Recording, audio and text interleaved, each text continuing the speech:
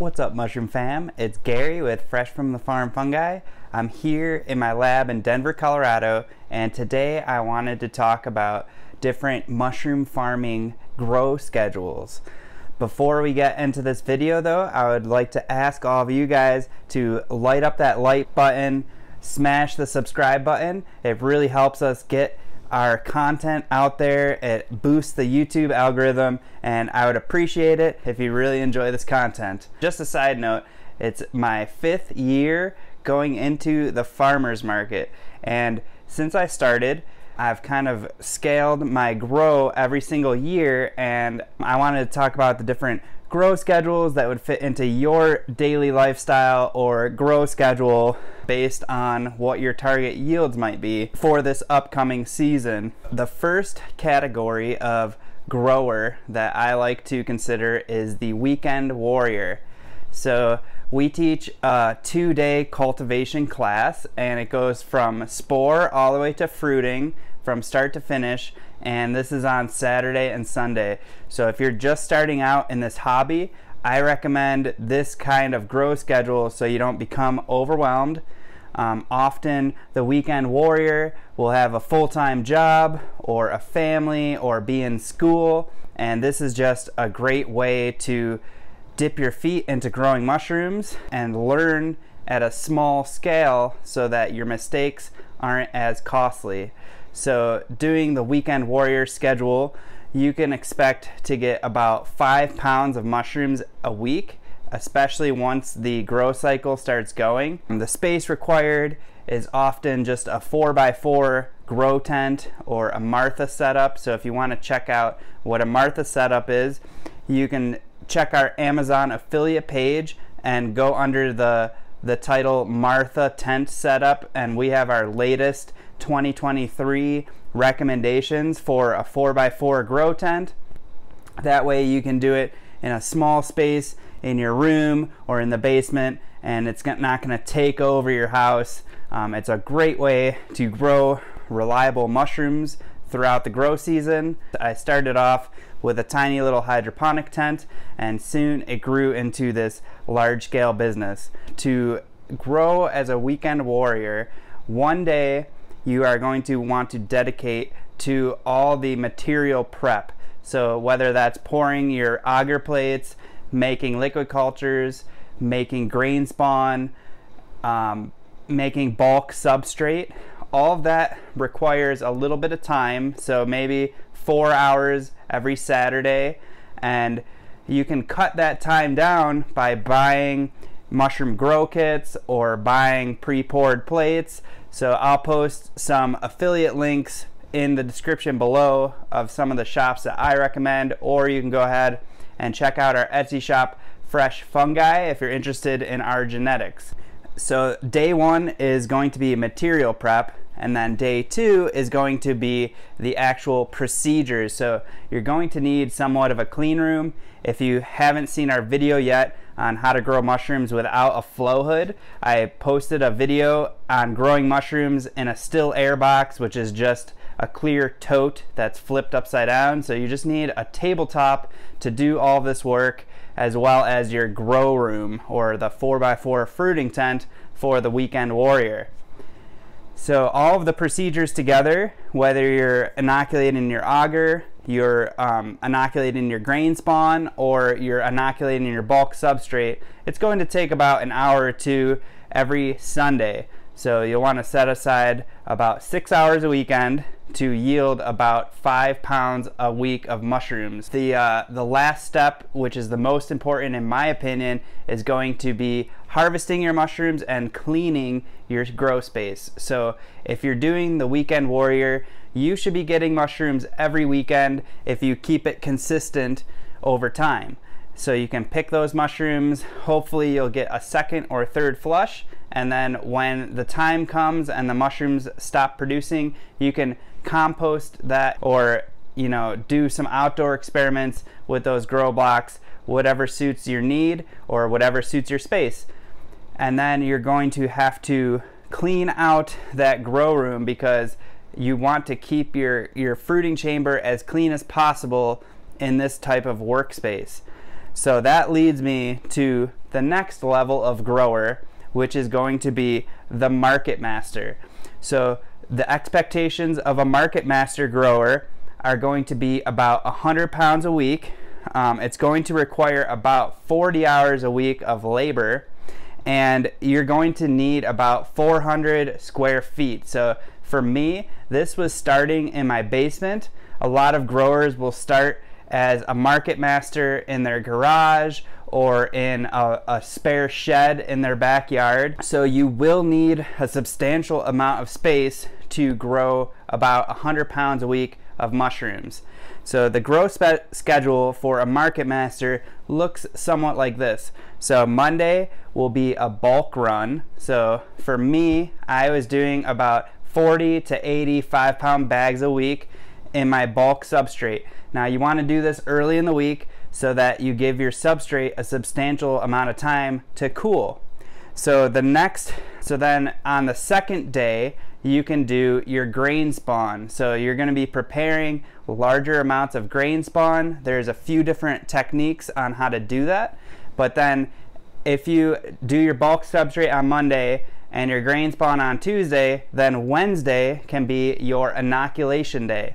So all of your substrates will have plenty of time to cool and then you can have your, your empty flow hood ready to inoculate all of your bags. And then Thursday is going to be cleaning and flipping your rooms, um, possibly interacting with your customers, and then also preparing for the farmer's market, which is why it's called a market master. So oftentimes farmers ma markets are on the weekend, so you need ample time to pick and package your mushrooms, which is also what I recommend doing on Friday. So for my farm, Friday is our local pickup day. So I'll often be packaging my mushrooms throughout the day and then meeting with customers like uh, chefs or CSA programs who come and pick up those mushrooms every week. And then Saturday, I devote all of my day to the farmer's market. So I love the farmer's market atmosphere. I love meeting our customers face to face, and it's really enjoyable to be outside in the sunshine, especially during the prime summer season here in Colorado. And I'm blessed that we, we are at the Cherry Creek Farmers Market with a beautiful view of the Front Range Mountains. It makes my week worth it every single weekend. So if you're interested in checking out our mushrooms on every Saturday from 9 to 2. We'll be at the Cherry Creek Farmers Market. And that leads me to the next level of grower, which is going to be a community cultivator. So I'm very excited. This is our first year that we're going to be in our new building in Sedalia. So as you start to scale up your grow, you're going to need more space. So we built a 1500 square foot Quonset building that I am going to be fruiting all of my mushrooms this year. So we kept our laboratory set up and our, our operations here in Denver, and then we are going to be transporting our blocks down to Sedalia while we finish building out the new lab there. So that allows us to 4 or 5x our production because we can maximize the space that was the fruiting area in Denver. And then it also separates our lab from our fruiting room, which allows us to produce better quality cultures and kind of have that separation of contamination, which is really vital to growing mushrooms. So the schedule that I'm going to be running for this season is very similar to the Market Master schedule. I'm going to be scaling up my grow blocks to 10 pound blocks. And then also I'm going to be running two bulk substrates, one on Monday and one on Thursday. And then that Thursday substrate will sit until the following Wednesday. So it's the same schedule. Monday bulk, Tuesday grain, Wednesday is going to be inoculations, and then Thursday I'm going to squeeze in another bulk run, and then Friday pick and pack, Saturday farmers market. So it's a little bit of extra work, but for massive amounts of gain for my production.